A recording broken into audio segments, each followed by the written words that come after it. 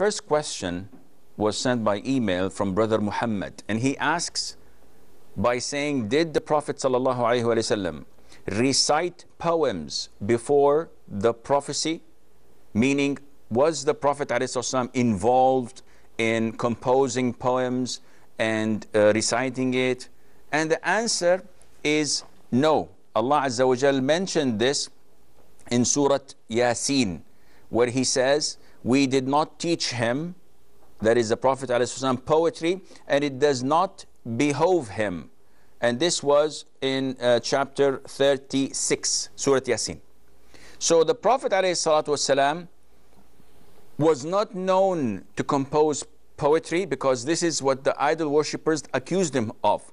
When they saw the Quran and its miraculous form, they had never seen anything even close to it in its eloquency and perfection. So they tried their level best to justify their refusal of accepting it. So they said the Prophet was a sorcerer, he was a priest, he was insane, and then they said he was a poet, because this is the highest form of eloquency in Arabic language, poetry.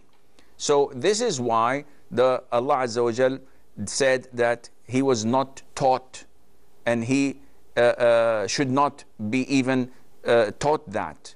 Why? So that the Quran would be protected from anything that may tarnish, tarnish its um, uh, reputation or bring any doubt to it. However, it was reported that the Prophet ﷺ used to say maybe one uh, verse of poetry.